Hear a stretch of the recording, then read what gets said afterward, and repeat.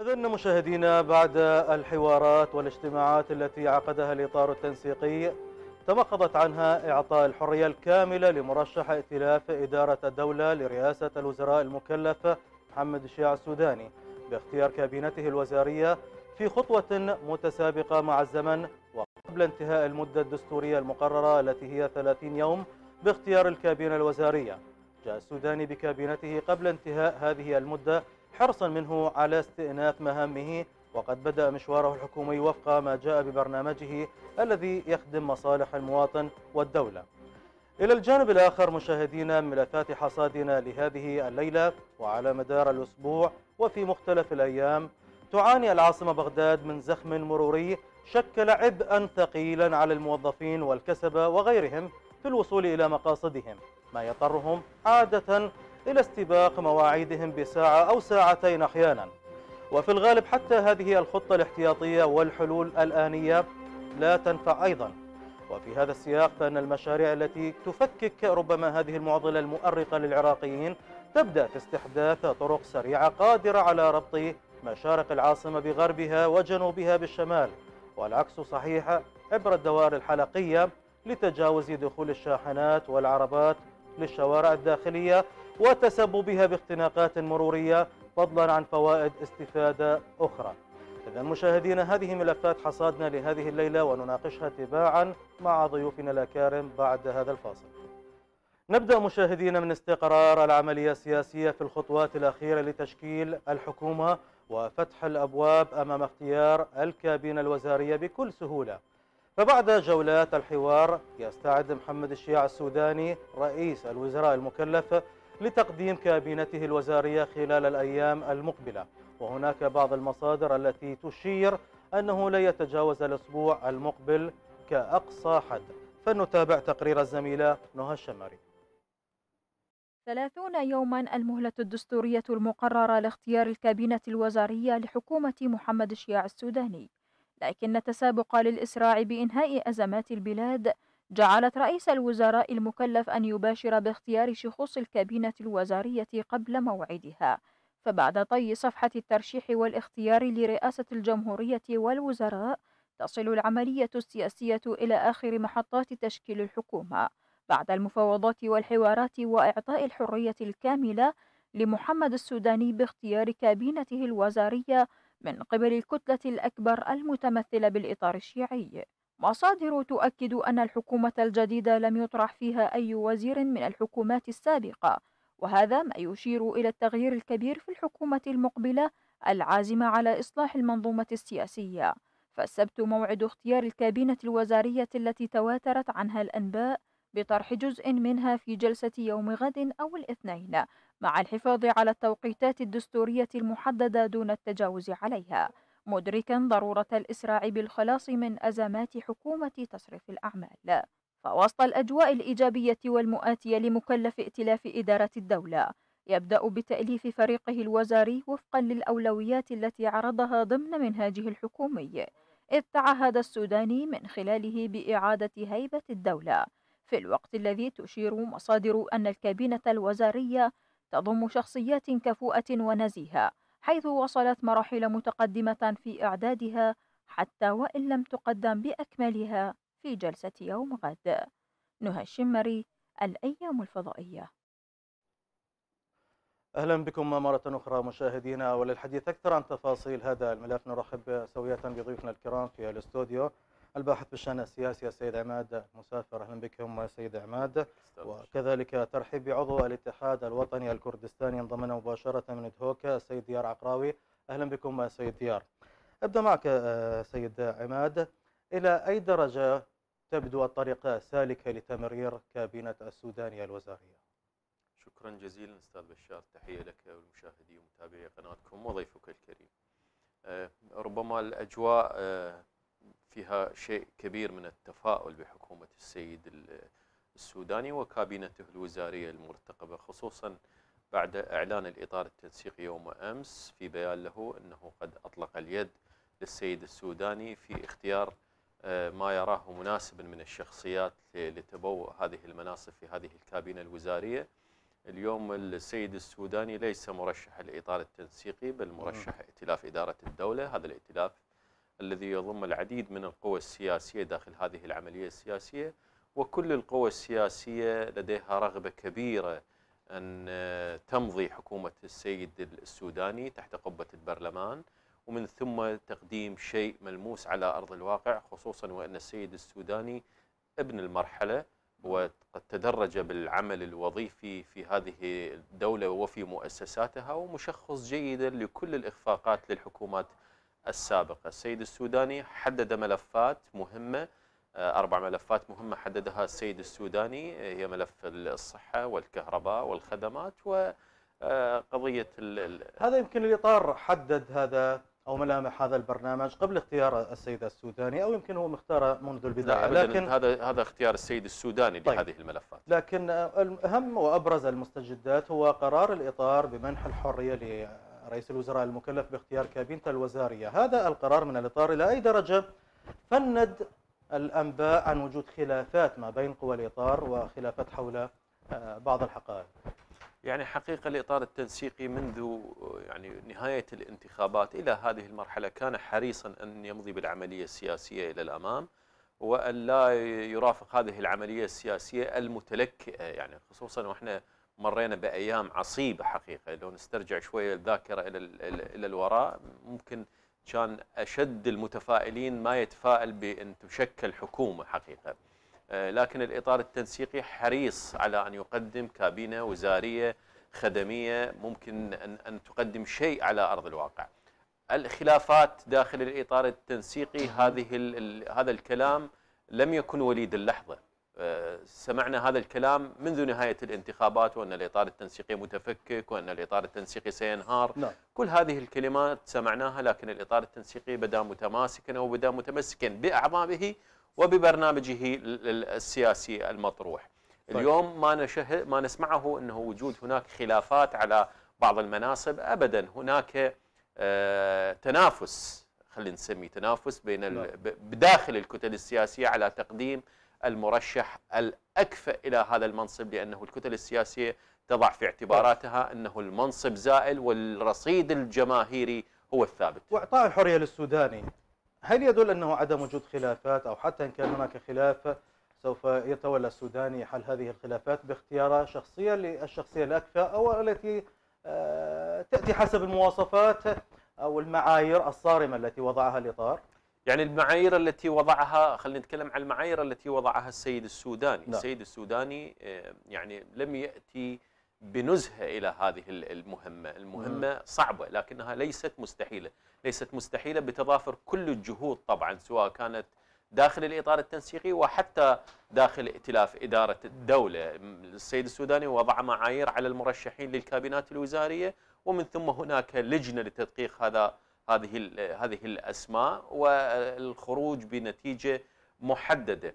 مسألة أنه الإطار التنسيقي آه، يعني وضع هذه البيان أو هذا حتى يرفع آه، الحرج عن السيد السوداني أبدا. الإطار التنسيقي في بيانه الأخير بإطلاق يد السيد السوداني باختيار كابينته الوزارية ممكن وضع الحرج على بعض الكتل السياسية التي خلينا نتكلم خارج الإطار.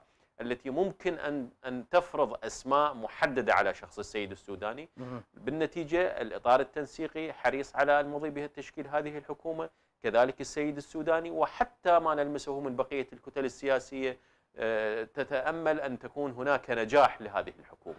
طيب أيضا آه، نعود إلى السيد ديار عقراوي. أهلا بك سيد ديار مرة أخرى. وأود أن أسألك آه، سيد ديار بالنسبة للاتحاد الوطني الكردستاني آه، إلى أين وصلت حواراتكم آه، لطرح المرشحين آه، لتولي الحقائب الوزارية وحواراتكم مع السوداني أو مع بقية الأطراف السياسية؟ مساء الخير. تحية لك ولضيفك الكريم ولمتابعي قناتكم الأكارم. حياك الله. حقيقة موضوع المفاوضات والحوارات هذه المسألة يعني واضحة ومبينة آه، المسألة آه، توزيع الوزارات تكون على النقاط وحسب حجمك الانتخابي لا. نعم. داخل أو حجم النواب وعدد النواب داخل مجلس النواب نحن كاتحاد الوطني الكردستاني آه، طبعا أخذنا منصب رئاسة الجمهورية آه، ولو آه، لم يكن مرشحنا الرسمي ولكن بالأخير هو الدكتور عبد اللطيف رشيد محسوب على الاتحاد الوطني. نعم. وهو عضو وله مكانته الخاصة ويعني هذه مسألة ما فيها آه، أي شك. آه، يبقى آه، طبعا بدون شك سيأخذ آه، نقاطا كثيرة. آه، ولكن حسب الحكومات التي سبقت وشاركنا فيها يعني رئيس الجمهورية كان عند الاتحاد الوطني وأخذ يعني نقاط كثيرة آه، وما تبقى من نقاطنا آه، سوف على الأكثر آه، سنأخذ وزارة آه، إن لم يكن وزارتين طيب. فهذه الأسماء سوف نقدمه للسيد شياع السوداني وحسب الاتفاق بيننا كائتلاف إدارة الدولة نعم. أن نعطي مساحة كبيرة للسيد السوداني ما مدى ما مدى اتساع. هذه المساحة آه، سيد ديار؟ إلى أي درجة ستكون المساحة واسعة التي ستمنحونها للسودان باختيار المرشحين؟ بكل تأكيد آه، ما دام السيد شياع السوداني آه، وهذا رئيس الوزراء الأول من هذا الجانب يقول أنا أتحمل مسؤولية جميع الوزراء إذ أن رؤساء الوزراء سابقا كانوا آه، يقولون الأحزاب السياسية والمكونات هم الذين يتحملون المسؤولية لأنهم آه، من قدموا آه، الأسماء لكن هذه المرة السيد شيع السوداني قال أنا أتحمل المسؤولية فعندما يقول أنا أتحمل المسؤولية آه، لابد أن نعطي له مساحة لاختيار شخصيات كفؤة وذات خبرة وذات نزاهة. نحن كاتحاد الوطني الكردستاني آه، آه، ومنذ زيارة السيد آه، السوداني إلى السيد بافل طالباني رئيس الاتحاد الوطني الكردستاني عاهدنا وقلنا لسيادته نحن كاتحاد الوطني الكردستاني بكل تأكيد سوف نكون الداعم الرئيسي لإنجاح إمضاء أن تمضي ال- الحكومة ونكون سندا ودعما قويا لنجاح هذه الحكومة. أيضا نرحب برئيس مركز الغد الزاهر للدراسات الدكتور علي محي الدين انضمنا مباشرة بالصوت والصورة من بغداد. أهلا بكم دكتور علي وأود أن أسألك عن وفقا للمعطيات المتوفرة حاليا اللي استمعت لها وفقا لها متى تتوقع تشكيل الحكومة والتصويت عليها في البرلمان؟ اولا تحية لك ولضيوفك الكرام. ولمشاهدي قناة الأيام حياك الله. أعتقد أن الظروف الموضوعية قد تحتاج إلى بضعة أيام أخرى لتشكيل الوزارة ولكن المقدمة الأساسية الحجم الأكبر من تشكيل وزاري سوف يعلن غدا إن كان هذا لا يحتاج إلى توقيتات أكثر من ذلك ولكن بعض الوزارات التي تحتاج إلى كفاءات معينة قد يكون هناك تأخير لها في استيزارها وهو يتحمل السيد السوداني مسؤولية هذه الوزارات لحين اختيار الوزراء المسؤولين عنها. وهذا ما أعتقد أنه سوف يكون غدا يوما مفصليا في تشكيل الوزارة وإن تأجلت بعض الوزارات فهذا يسمح لها بتحمل المسؤولية وتحمل قيادة القوات المسلحة التي يمكن أن تعطيها حوافز كبيرة ومقدمات مؤثرة على الوضع الأمني في العراق قادما.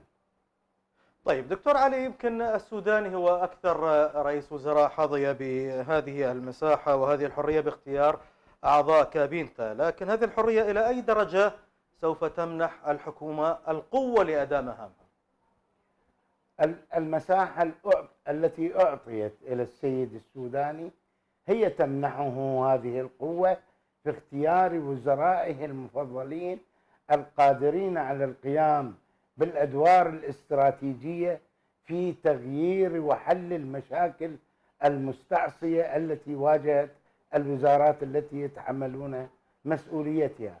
وهو متابع جيد وقادر على متابعة الوزارات مع هذه الكفاءات التي تتمكن من الإدارة وتقديم البرامج والمنهاج الذي يحل هذه المشاكل. نعم. هذا يحتاج إلى تواصل مستمر أسبوعي ودوري وشهري حتى تطرح المشاكل وتقرأ جيدا وتوضع الحلول لحلها.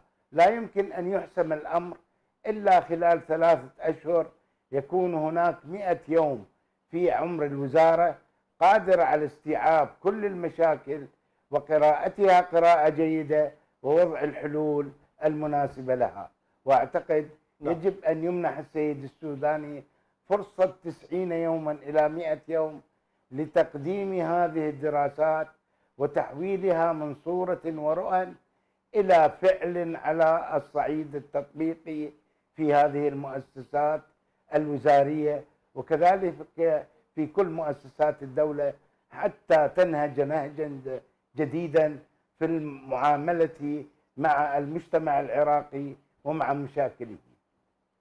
آه، سيد عماد السوداني مو فقط وضع برنامج وعنده آه، نقاط لتنفيذها في هذا البرنامج ووضع يمكن أربع أولويات في مقدمتها. أيضا وضع آه، لبرنامج توقيتات توقيتات لتنفيذها مفردات هذا البرنامج.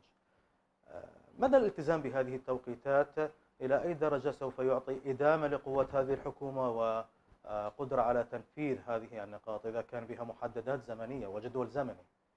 يعني بمسألة التوقيتات التي سترافق حكومة السيد السوداني في آخر لقاء جمعنا بالسيد السوداني تم طرح هذه الأسئلة وتحديدا هذا السؤال على السيد السوداني. نعم. إذا كان آه، الكتل السياسية متفقة على آه، عمر هذه الحكومة ومن ثم المضي بانتخابات مبكرة ما مدى آه، فعالية البرنامج الذي سيطبقه السيد السوداني حتى يعني نلتمس شيئا على أرض الواقع؟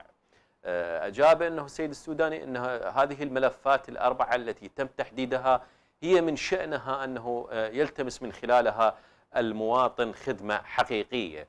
بمسألة لأنه البرنامج ممكن البرنامج الحكومي يعني خلينا نقول مرسوم على على سنتين أو أكثر من سنتين لكن عندما يحدد السيد السوداني بفترة زمنية لعمر هذه الحكومة أكيد سيكون هناك تركيز على ملفات معينة آه، من أجل النجاح بهذه الملفات. والملفات هي مثل ما ذكرنا قبل قليل هي الملفات التي تلامس حياة المواطن بصورة مباشرة الكهرباء الخدمات الصحة وحتى الملف المالي والأمني ممكن بهذه الجانب. إذا ما دام هناك آه، أولويات آه، للسيد السوداني من الممكن من الممكن جدا أن يكون هناك نتاج على أرض الواقع حتى إذا كان فتر فترة عمر الحكومة فترة قصيرة. طيب سيد ديار آه، وضعتم معايير لاختيار مرشحيكم آه، لتولي وزارات معينة، آه، شنو هي أبرز المعايير اللي راح تركزون عليها باختيار المرشحين اللي راح تقدموهم للسوداني حتى يختار أحدهم؟ المعايير مو إحنا مخليه، المعايير السيد السوداني هو الذي قدمها لنا الكفاءة الخبرة آه، النزاهة وهذه آه، أساسيات آه، ما قدمه السيد السوداني لكل القوى والأطراف المشاركة في إدارة الدولة فنحن مجرد أن نقدم هذه الأشخاص الذي يتوافى فيهم الشروط الذي قدمه السيد اشياع السوداني. بكل تأكيد آه، نحن لدينا كفاءات ولدينا كوادر وشخصيات آه، بكل تأكيد إن شاء الله لم يكن هناك لا تكون هناك مع السيد آه، السوداني أي مشكلة في اختيار شخصيات. نحن لدينا شخصيات وإن شاء الله سنتمكن من اختيار ما يريده السيد السوداني. طيب الاتحاد معروف أنه لديه الكثير من الشخصيات والكفاءات لتولي مختلف الوزارات لكن راح تلتزمون كاتحاد آه، بهذه المعايير اللي ذكرتها أنه حددها السيد السوداني. لو فعلا هناك يعني آه، حقيقة لهذه الأنباء اللي تحدثت عن خلافات آه، حول أسماء المرشحين.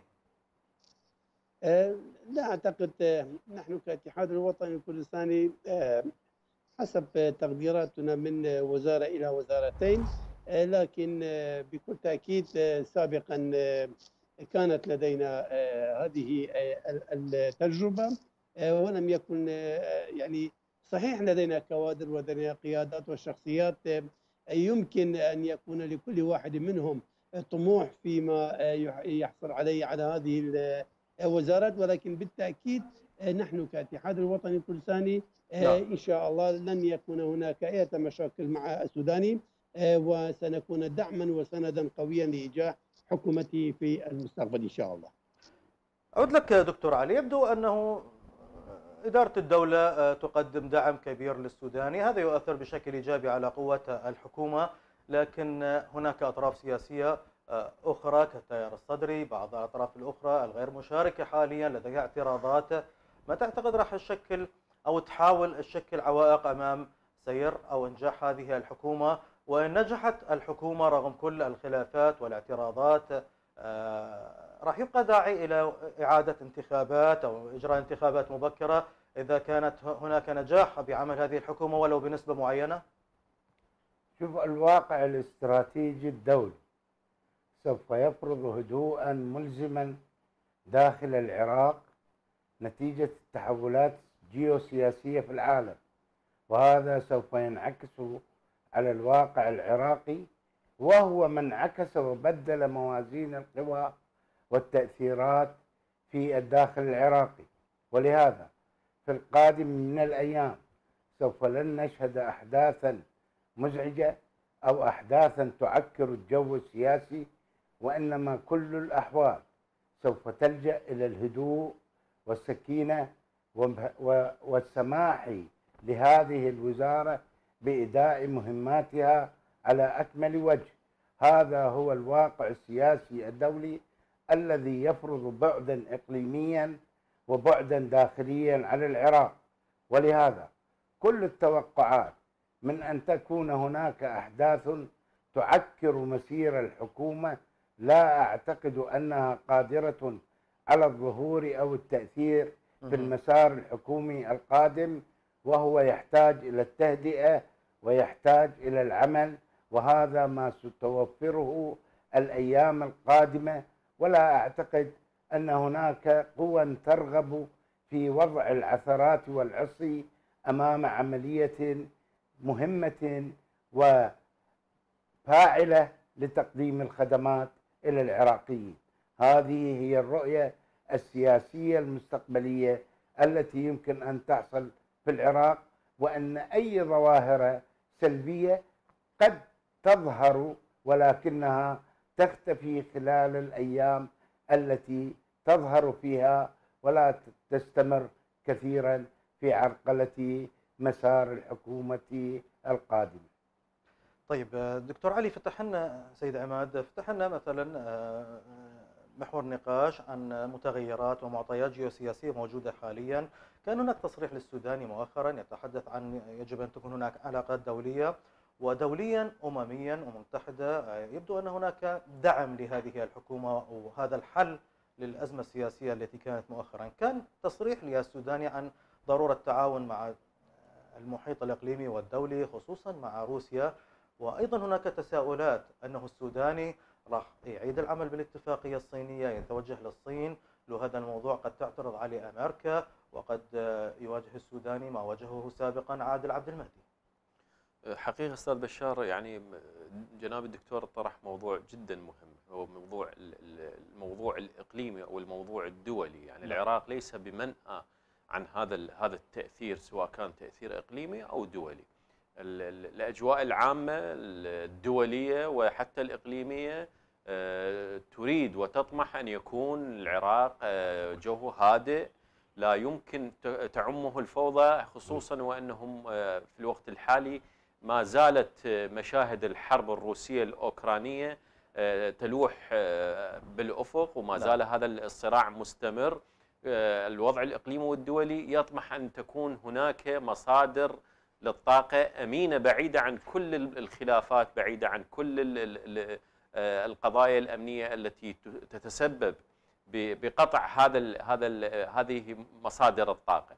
إذا هذا الدعم الإقليمي والدولي آه، ينعكس إيجابا على دعم حكومة السيد السوداني وشاهدنا هذا من خلال البيانات التي تتالت من بعثة الأمم المتحدة من بقية البعثات الدبلوماسية آه، لحكومة السيد السوداني موضوع تفعيل الاتفاقية الصينية أو أو الانفتاح على هو هو الدعم موجود دوليا وداخليا دعم نعم. نعم. كبير دوليا حاليا يبدو أنه دعم كبير لكن آه، قضية الاتفاقية الصينية نعم طالما يعني الشعب العراقي الكثير من الأطراف السياسية رغبت بالتوجه إلى الاتفاقية الصينية والصين حتى آه، تم الأعمال والبنى التحتية والخدمات نعم. نعم. وهذه حكومة خدمات كما أكد السوداني. بالتأكيد راح يتوجه للصين كل دول العالم تتوجه للصين لأن آه، خدمتها آه، نوعا ما أسعارها مناسبة آه، إذا توجه للصين وإعادة إحياء الاتفاقية الصينية أمريكا ما راح يكون اعتراض عندها يعني هو هسه إحنا إحنا لو نريد نجيب لهذا الموضوع ونناقشه من كل من كل أبعاده نشوف هذه الدول يعني بغض النظر عن العراق نشوف دول عديدة عندما تكون لها مصلحة معينة نعم. ويكون الخصم لديه ما ما يعني ما يهتم به أكثر منه يلجأ إلى أن ينفذ ما يريده مع هذه الدول، اليوم العراق حقيقة محتاج أن يكون هناك شراكة حقيقية للصين داخل العراق من موضوع بناء واتفاقية صينية وغيرها من المشاريع التي تم توقيعها في حكومة السيد عادل عبد المهدي، الولايات المتحدة لا ترغب أن أن أن يعني تثير مواطن للإشكالات في أكثر من مكان. تكفيها الحرب الروسية الأوكرانية وتكفيها عدة مشاكل بالمنطقة. ما أعتقد أن الولايات المتحدة ستمارس نفس الدور الذي مارسته في حكومة السيد عادل عبد المهدي بحكومة السوداني. إذا شرع السيد السوداني وفتح الأبواب وفعل هذه الاتفاقية الصينية، طبعا إحنا مو نقول إنه راح تكون اللي هو بمعزل عن الولايات المتحدة، أكيد الولايات المتحدة لها دور أساسي بالمنطقة لكنه الأولويات تختلف هنا، العراق لا يشكل آه، خطرا كبيرا على على الاقتصاد الأمريكي يعني إلا إلا فيما ندر. مثل موضوع الكهرباء كانت الولايات نعم. المتحدة هي المستحوذة عليه منذ عام 2003 إلى الآن بشركة جنرال الكتريك ممكن جدا ممكن جدا أنه العراق يستعيد هذه ال- الشركات ال- يستعيد ال- العقد مع شركة سيمنز الألمانية. ممكن أن يرفع الفيتو الأمريكي من من من أجل إنجاح حكومة السيد السوداني. حكومة السيد السوداني آه، أعتقد إنها ستكون أبوابها مفتوحة اقليميا ودوليا من لكن أجل اكو أكو محاور حاليا وهناك صراع ما بين هذه المحاور. احتدم مؤخرا. أعود لك إلى هذه المحاور آه، سيد عماد. لكن آه، أعود لك أيضا سيد ديار. دعم دولي تحدثنا عنه وأيضا دعم داخلي من الاتحاد من إقليم كردستان من مختلف الأطراف الأخرى اللي شكلت تحالف إدارة الدولة. هذا الدعم راح يبقى مستمر لحكومة المركز من قبل الاتحاد مثلا أو من قبل إقليم سيد ديار.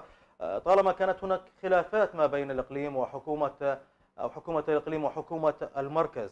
آه، أكو شيء صار ما بين الإقليم أو الاتحاد والديمقراطي بالاتفاق مع آه، بقية القوى الأخرى أو مع السوداني لعدم تجدد هذه الخلافات أو حل الخلافات القديمة والإشكالات العالقة؟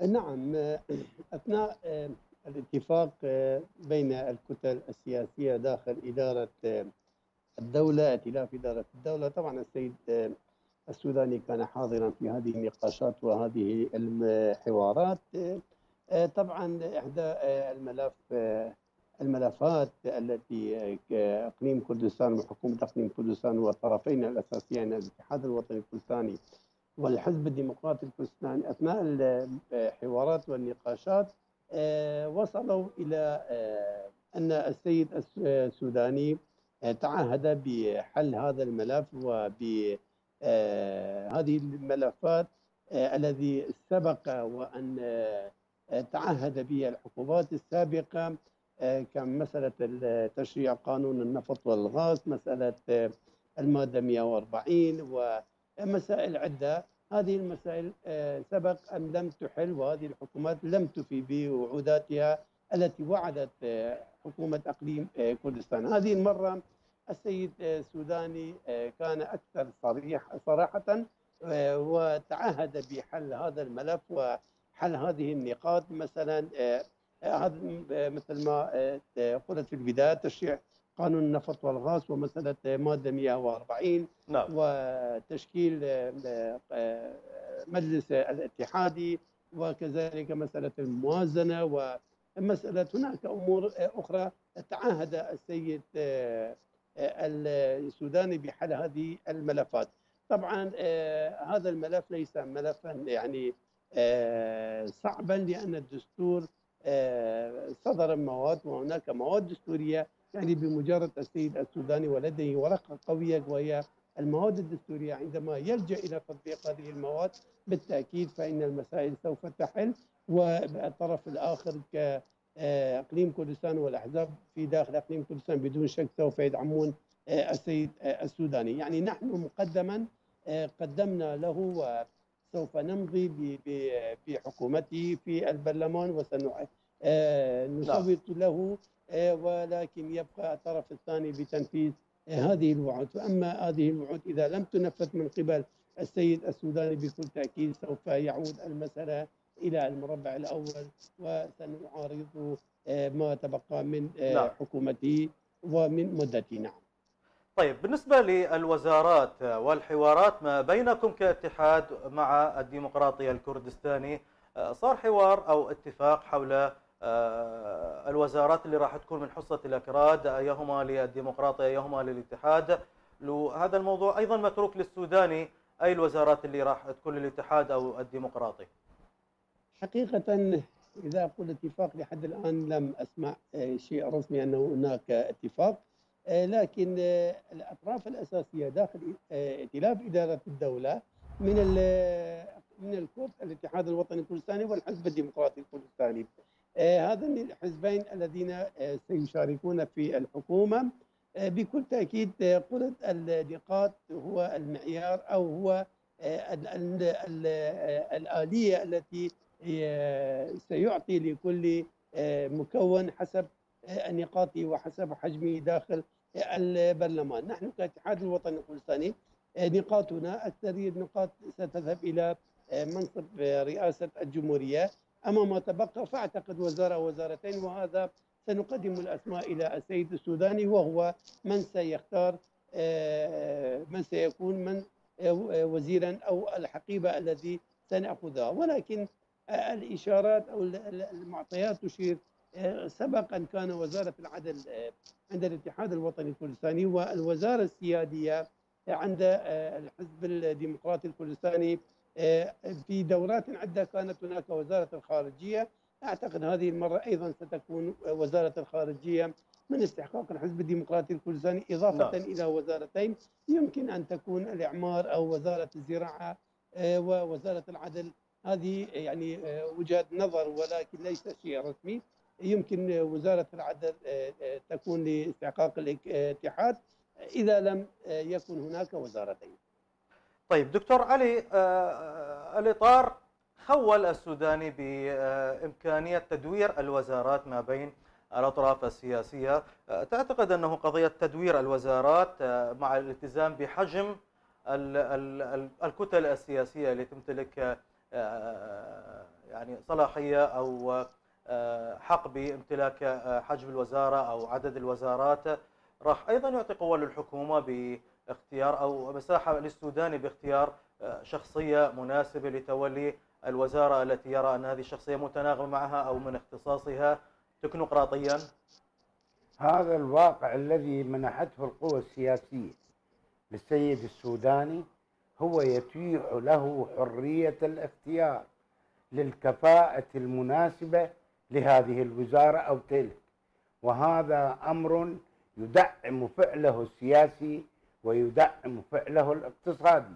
وهذه الحرية تعطيه الإمكانية الضرورية لاختيار الشخص المناسب في المكان المناسب والذي يستطيع أن يؤدي دورا كبيرا من خلال فهمه لقضايا الوزارة التي يعمل بها وكيفية وأساليب حل مشكلاتها. هذا الأمر جدا ضروري وهو يعطي الحرية والمساحة الكبيرة للسيد السوداني للنجاح في تشكيل وزارات كفوءة قادرة على القيام بالأعمال الموكلة إليها. ونحن نحتاج في هذا الوقت إلى تثوير موضوع الاتفاقية الاستراتيجية مع الصين لأنها المنقذ الوحيد من أزمات من أزمات العراق الاقتصادية ويكون النفط مقابل الإعمار الشامل ورفع الاقتصاد والنهوض بالاقتصاد العراقي هذا أمر ضروري عليه أن يعمل على إنجازه وعلى تحقيقه طيب. لأنه يحل جميع المشاكل لكن التي من جانب آخر دكتور علي هذا الموضوع ما راح يثير بعض الأطراف الدولية الأخرى المؤثرة وهناك اليوم صراع محاور. يقدر السوداني وحكومة السوداني إذا كانت حاصلة على هذا الدعم وهذه القوة أنه مثلا يقترب من الصين نوعا ما لتمرير اتفاقية في برنامج الخدمي اللي هو مصر عليه. آه، في ذات الوقت انه يكون بعيد عن حرب أو سياسة المحاور. الواقع الاستراتيجي السياسي الدولي يفرض واقعا جديدا في هذه المنطقة ولهذا لن تقوم الولايات المتحدة ولا بريطانيا بالاعتراض على هذا الموقف بل قد تساعد من خلال مشاركتها في النهوض بهذا الأمر وتنفيذه. المتغيرات الجيوسياسية الدولية والإقليمية قد تغيرت وانقلبت وظهرت قوى جديدة في الساحة العالمية. ولهذا سوف لن تعمل الولايات المتحدة على الاعتراض في هذا الموضوع ولا بريطانيا بالرغم مما يعانيه العراق من أزمات فإنه يفتح مجالا كبيرا في الساحة العراقية لتخليص العراق من جميع أزماته وإنهاء مشاكله الاقتصادية ومشاكل البطالة نعم. ولهذا سوف لن تقف الولايات المتحدة أو ندعوها للمشاركة مع الصين للمساهمة في إعمار العراق مقابل النفط طيب سيد عماد هذه المتغيرات اللي نتحدث عنها دوليا وجيوسياسيا ممكن أن تكون بصالح العراق ممكن لحكومة السوداني الاستفادة من هذه المتغيرات لجذب استثمارات مثل العراق أو تغيير اقتصاد العراق للأفضل والتوجه إلى عقد اتفاقات مثلا مع الصين إذا كانت الاتفاقية هذه ضرورية وفيها فائدة لتنمية البلاد. نعم. حقيقة أن الولايات المتحدة تدرك جيدا أنه سياسة القطب الأوحد شرفت على الانتهاء بالعالم. مع ظهور أقطاب أخرى في هذا يعني هسه خلينا نقول أقطاب اقتصادية أقطاب عسكرية. اليوم روسيا تلعب دور كلش كبير بالعالم. آه، برغم الحرب الأوكرانية اليوم الصين والجمهوريه الإسلامية آه، يعني تثبت إنه هناك أقطاب جديدة من شأنها أن تنافس الولايات المتحدة في شتى المجالات. سياسة الهيمنة على على على الدول والتفرد بقراراتها السياسية والاقتصادية آه، ما أعتقد آه، آه، يعني راح تبقى فعالة ومجدية خصوصا في العراق. أنا أعتقد إنه بالداخل العراقي الولايات المتحدة فقدت شيء كبير من أدواتها ولم تستطيع أن تحرك أدواتها كما كان في حكومة السيد عادل عبد المهدي ممكن جدا مثل ما تفضل جنابك وتفضل جناب الدكتور أن تلعب الولايات المتحدة عن طريق دعوة العراق أن تلعب دور أساسي في بناء العراق عن طريق التنافس. ممكن جدا فتح باب التنافس في إعمار العراق وهذا التنافس يكون بين هذه القوى الكبرى بالعالم روسيا الصين الولايات المتحدة. ممكن نشوف فد, فد, فد حالة آه، تنافس جديدة من تنافس اقتصادي في هذا البلد خصوصا وإن العراق مهيئ لكل لكل هذه السوق العالمية سواء كان سواء كان على مستوى الإعمار على مستوى النفط على مستوى الأموال. كل هذه الأجواء مهيئة لكن يبقى العامل واللاعب العراقي وحنكة اللاعب العراقي ودعم القوى السياسية للحكومة المقبلة له التأثير الأكبر بأن يكون العراق سيد نفسه بإمكانها أن يبني علاقات دولية متوازنة مع كل الأطراف مع الصين مع روسيا مع الولايات المتحدة. طيب هذه المتغيرات التي تبدو إيجابية حتى اللحظة إلى أي درجة تخدم الحكومة العراقية الجديدة حكومة السوداني بتنفيذ برنامجها خصوصا الخدمي؟ بالضبط. إحنا نقول نقول إنه مثلا الصين لديها مشروع اقتصادي وسكني وعمراني كبير بالعراق. إذا ما اتجه السيد السوداني اتجاه الصين من أجل تفعيل هذا هذا هذا المشروع. سنشاهد يعني حقيقة ثورة عمرانية كبيرة. مدارس على طرق على بنى تحتية كل ما وقع بالاتفاقية الصينية إذا نفذ منه 15% آه، سنشاهد تغيير كبير على أرض الواقع.